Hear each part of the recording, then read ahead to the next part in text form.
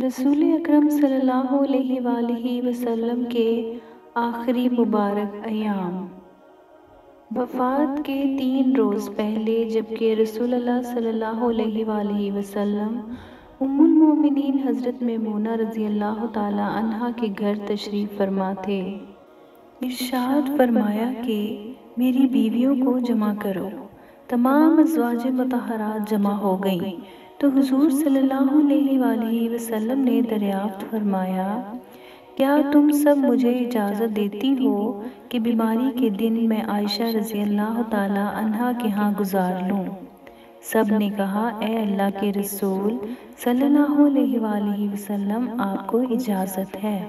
फिर उठना चाहा, लेकिन उठ ना पाए तो हज़रत अली इब्ने अबी तालिब और फजल बिन अब्बास रज़ी अल्लाह ताला आगे बढ़े और नबी सलाम को सहारे से उठाकर सैदा मेमुना रज़ी अल्लाह तहा के हजरे से सैदा हज़रत आयशा रज़ी अल्लाह तहा के हजरे की तरफ़ ले जाने लगे। इस वक्त सहाबा कराम रज़ी अल्लाह तुम ने हजूर अलैहि वसल्लम को इस बीमारी और कमज़ोरी के हाल में पहली बार देखा तो घबरा कर एक दूसरे से पूछने लगे। रसूलुल्लाह सल्लल्लाहु अलैहि वसल्लम को क्या हुआ? रसूलुल्लाह सल्लल्लाहु अलैहि वसल्लम को क्या हुआ? चुनाचे सहाबा मस्जिद में जमा होना शुरू हो गए और मस्जिद शरीफ में एक रश लग गया। हजूर सल्लल्लाहु अलैहि वसल्लम का पसीना शिद्दत से बह रहा था। हज़रत आयशा रज़ी अल्लाह तह फरमाती हैं कि मैंने अपनी ज़िंदगी में किसी का इतना पसीना बहते नहीं देखा। और फरमाती हैं, मैं रसूलुल्लाह सल्लल्लाहु अलैहि वसल्लम के दस्त मुबारक को पकड़ती और इसी को चेहरे अकदस पर फेरती, क्योंकि नबी सलाम का हाथ मेरे हाथ से कहीं ज़्यादा मोहतरम और पाकिज़ा था। मज़ीद फरमाती हैं कि हबीब खुदा सलाम से बस यही विरद सुनाई दे रहा था कि ला इलाहा इल्लल्लाह, बेशक मौत की भी अपनी सख्तियाँ हैं। इसी स्ना में मस्जिद के अंदर हजूर सल्लल्लाहु अलैहि वसल्लम के बारे में खौफ की वजह से लोगों का शोर बढ़ने लगा। नबी अकरम सल्लल्लाहु अलैहि वसल्लम ने दरियाफ्त फरमाया, ये कैसी आवाज़ें हैं? अर्ज़ किया गया कि अल्लाह के रसूल, ये लोग आपकी हालत से खौफजदा हैं। इरशाद फरमाया कि मुझे इनके पास ले चलो। फिर उठने का इरादा फरमाया लेकिन उठ ना सके। आप सल्लल्लाहु अलैहि वसल्लम पर सात मशकीज़े पानी के बहाए गए।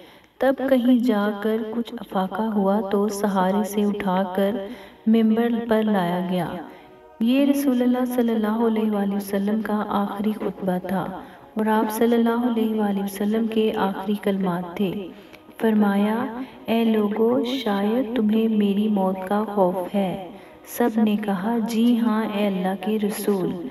इरशाद फरमाया ए लोगो तुमसे मेरी मुलाकात की जगह दुनिया नहीं तुमसे मेरी मुलाकात की जगह हौज़ कोसर है। खुदा की कसम गोया कि मैं यहीं से इसे हौज़ कोसर को देख रहा हूँ। ए लोगों, मुझे तुम पर तंगदस्ती का खौफ नहीं, बल्कि मुझे तुम पर दुनिया की फरावानी का खौफ है कि तुम इसके मामले में एक दूसरे से मुकाबले में लग जाओ, जैसा कि तुमसे पहले पिछली उम्मतों वाले लग गए, और ये दुनिया तुम्हें भी हलाक कर दे, जैसा कि उन्हें हलाक कर दिया। फिर मज़ीद इरशाद फरमाया ए लोगो, नमाज़ के मामले में अल्लाह से डरो, अल्लाह से डरो, नमाज़ के मामले में अल्लाह से डरो, अल्लाह से डरो। यानी अहद करो कि नमाज़ की पाबंदी करोगे और यही बात बार बार दोहराते रहे। फिर फरमाया है लोगों, औरतों के मामले में अल्लाह से डरो, औरतों के मामले में अल्लाह से डरो। मैं तुम्हें औरतों से नेक सलूक की वसीयत करता हूँ। मज़ीद फरमाया ए लोगो, एक बंदे को अल्लाह ने इख्तियार दिया कि दुनिया को चुन ले, या इसे चुन ले जो अल्लाह के पास है तो इसने इसे पसंद किया जो अल्लाह के पास है। इस जुमले से हुजूर सल्लल्लाहु अलैहि वसल्लम का मकसद कोई न समझा, हालाँकि इनकी अपनी ज़ात मुराद थी। जबकि हज़रत अबू बकर सिद्दीक रज़ी अल्लाह तहो वो तनहा शख्स थे जो इस जुमले को समझे और ज़ारो कतार रोने लगे और बुलंद आवाज़ से गरिया करते हुए उठ खड़े हुए और नबी सलाम की बात कता करके पुकारने लगे। हमारे बाप दादा आप पर कुर्बान हमारी माएँ आप पर कुर्बान हमारे बच्चे आप पर कुर्बान हमारे मालो दौलत आप पर कुर्बान रोते जाते हैं और यही अल्फाज कहते जाते हैं। सहाबा कराम रज़ी अल्लाह तहो नागवारी से हज़रत अबू बकर सिद्दीक रज़ी अल्लाह तहों की तरफ़ देखने लगे कि उन्होंने नबी सलाम की बात कैसे कता कर दी। इस पर नबी करीम सल्लल्लाहु अलैहि वसल्लम ने हज़रत अबू बकर सिद्दीक रज़ी अल्लाह तहों का दिफा इन अल्फाज में फरमाया है लोगो, अबू बकर को छोड़ दो कि तुम में से ऐसा कोई नहीं जिसने हमारे साथ कोई भलाई की हो। और हमने इसका बदला ना दे दिया हो। सिवाय अबू बकर के कि इसका बदला मैं नहीं दे सका। इसका बदला मैंने अल्लाह ताला पर छोड़ दिया। मस्जिद नबी में खुलने वाले तमाम दरवाजे बंद कर दिए जाएँ। सिवाय अबू बकर के दरवाजे के जो कभी बंद ना होगा। आखिर में अपनी वफात से पहले मुसलमानों के लिए आखिरी दुआ के तौर पर इरशाद फरमाया अल्लाह तुम्हें ठिकाना दे, तुम्हारी हिफाजत करे, तुम्हारी मदद करे, तुम्हारी तायद करे। और आखिरी बात, जो मेंबर से उतरने से पहले उम्मत को मुखातिब करके इरशाद फरमाई, वो ये कि, ए लोगों, क़यामत तक आने वाले मेरे हर एक उम्मती को मेरा सलाम पहुँचा देना। फिर आ हजूर सल्लल्लाहु वसल्लम को दोबारा सहारे से उठाकर घर ले जाया गया। इसी इसना में हज़रत अब्दुलरहमान बिन अबी बकर रज़ी अल्लाह तहो खिदमत अकदस में हाजिर हुए और इनके हाथ में मसवाक थी। नबी अकरम सल्लल्लाहु अलैहि वसल्लम मसवाक को देखने लगे, लेकिन शिद्दत मर्ज की वजह से तलब ना कर पाए। चुनाचे सैदा आयशा रज़ी अल्लाह तहा हजूर अक्रम वसल्लम के देखने से समझ गईं और उन्होंने हज़रत अब्दुलरहमान रज़ी अल्लाह तहों से मसवाक लेकर नबी करीम सल्लल्लाहु अलैहि वसल्लम के दहन मुबारक में रख दी। लेकिन हुजूर सल्लल्लाहु अलैहि वसल्लम इसे इस्तेमाल ना कर पाए। तो सैदा आयशा रज़ी अल्लाह तहा ने हजूर अकरम सल्लल्लाहु अलैहि वसल्लम से मसवाक लेकर अपने मुँह से नरम की और फिर हुजूर सल्लल्लाहु अलैहि वसल्लम को लौटा दी ताकि दोहन मुबारक इससे तर रहे। फरमाती हैं आखिरी चीज़ जो नबी करीम सल्लल्लाहु अलैहि वसल्लम के पेट में गई, वो मेरा लुआब था। और ये अल्लाह ताला का मुझ पर फजल ही था कि इसने विसाल से पहले मेरा और नबी करीम सल्लल्लाहु अलैहि वसल्लम का लाब दहन यकजा कर दिया। उम्मुल हज़रत आयशा सदीक़ा रज़ी अल्लाह अन्हा मज़ीद इरशाद फरमाती हैं फिर आप सल्लल्लाहु अलैहि वसल्लम की बेटी फातिमा तशरीफ़ लाई और आते ही रो पड़ी कि नबी करीम सल्लल्लाहु अलैहि वसल्लम उठ ना सके, क्योंकि नबी करीम सल्लल्लाहु अलैहि वसल्लम का मामूल था कि जब भी फातिमा रज़ी अल्लाह तहा तशरीफ़ लाती, हजूर अकरम सल्लल्लाहु अलैहि वसल्लम इनके माथे पर बोसा देते थे। हजूर सल्लल्लाहु अलैहि वसल्लम ने फरमाया, ए फातिमा, करीब आ जाओ। फिर हाँ हजूर सल्लल्लाहु अलैहि वसल्लम ने इनके कान में कोई बात कही तो हज़रत फातिमा और ज़्यादा रोने लगी। इन्हें इस तरह रोता देखकर हुजूर सल्लल्लाहु अलैहि वसल्लम ने फिर फरमाया ए फातिमा करीब आओ। दोबारा इनके कान में कोई बात इरशाद फरमाई तो वो खुश होने लगी। हजूर सल्लल्लाहु अलैहि वसल्लम के विसाल के बाद मैंने सैयदा फातिमा रज़ी अल्लाह तहा से पूछा था कि वो क्या बात थी जिस पर रोई और फिर खुशी का इजहार किया था। सैयदा फातमा रज़ी अल्लाह तहा कहने लगी कि पहली बार जब मैं करीब हुई तो फरमाया फातिमा मैं आज रात इस दुनिया से कूच करने वाला हूँ जिस पर मैं रो दी। जब उन्होंने मुझे बेतहाशा रोते देखा तो फरमाने लगे फातिमा मेरे अहल खाना में सबसे पहले तुम मुझसे आ मिलोगी। जिस पर मैं खुश हो गई। सैदा आयशा रज़ी अल्लाह तहा फरमाती हैं, फिर हजूर सल्लल्लाहु अलैहि वसल्लम ने सबको घर से बाहर जाने का हुक्म देकर मुझे फरमाया, आयशा, मेरे करीब आ जाओ। हजूर सल्लल्लाहु अलैहि वसल्लम ने अपनी जोजा मतहरा के सीने पर टेक लगाई और हाथ आसमान की तरफ़ बुलंद करके फरमाने लगे, मुझे वो आला उम्दा रफाकत पसंद है। मैं अल्लाह के अम्बिया सिद्दीकीन, शहदा और सालहीन की रफाकत को इख्तियार करता हूँ। सदीक़ा आयशा रज़ी अल्लाह तह फरमाती हैं, मैं समझ गई कि उन्होंने आखरत को चुन लिया है। जिब्राईल सलाम खिदमत अकदस में हाजिर होकर गोया हुए। या रसूल अल्लाह मलकुल मौत दरवाज़े पर खड़े शरफ बारियाबी चाहते हैं।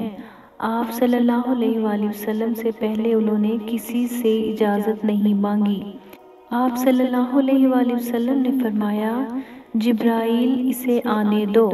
मलकुल मौत नबी करीम सल्लल्लाहु अलैहि वसल्लम के घर में दाखिल हुए और कहा अस्सलामुअलैकुम या रसूल अल्लाह मुझे अल्लाह ने आपकी चाहत जानने के लिए भेजा है। कि आप दुनिया में ही रहना चाहते हैं या अल्लाह सुबहान व ताला के पास जाना पसंद करते हैं। फरमाया, मुझे आला उम्दा रफ़ाकत पसंद है। मुझे आला उम्दा रफ़ाकत पसंद है। मलकुल मौत, आ हजूर सल्लल्लाहु अलैहि वसल्लम के सराहने खड़े हुए और कहने लगे, ए पाकिज़ा रूह, ए मोहम्मद बिन अब्दुल्ला की रूह, अल्लाह की रज़ा खुशनूदी की तरफ़ रवाना हो। राज़ी हो जाने वाले परवरदिगार की तरफ़ जो गज़बनाक नहीं।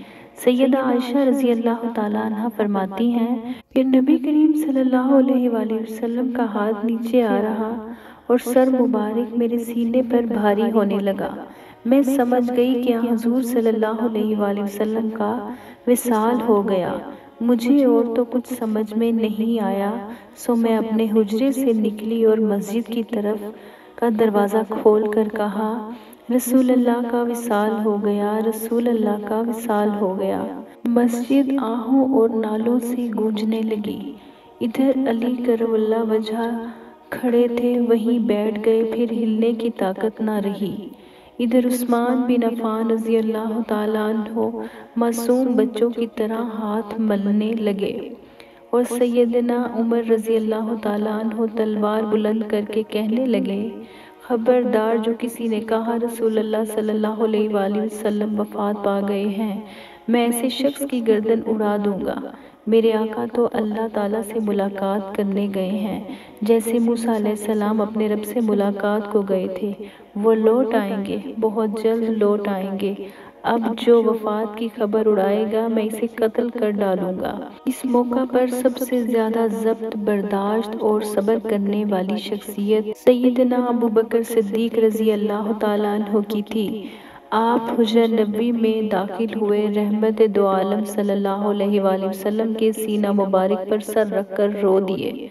कह रहे थे हाय मेरा प्यारा दोस्त हाय मेरा मुखलिस साथी हाय मेरा महबूब हाय मेरा नबी। फिर हजूर सल्लम के माथे पर बोसा दिया और कहा या रसूल अल्लाह सल्लल्लाहु अलैहि वसल्लम आप पाकिज़ा जिए और पाकिज़ा ही दुनिया से रुखसत हो गए। सैदना अबू बकर सिद्दीक रज़ी अल्लाह तहा बाहर आए और खुतबा दिया।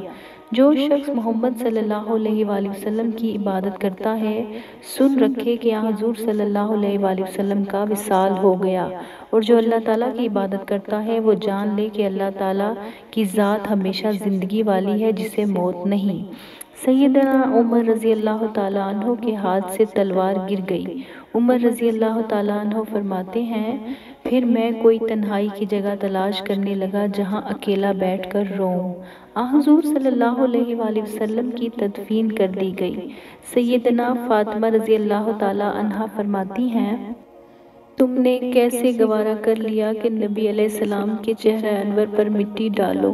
फिर कहने लगी, हाय मेरे प्यारे बाबा जान कि अपने रब के बुलावे पर चल दिए। हाय मेरे प्यारे बाबा जान, कि जन्नतुल फिरदौस में अपने ठिकाने को पहुँच गए।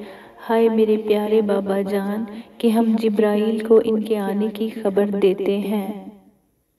अल्लाह ताला हम सबको नबी करीम सल्लल्लाहु अलैहि वसल्लम की सुन्नत पर चलने की तौफीक दे और नेक अमल करने की तौफीक दे। आमीन सुमामीन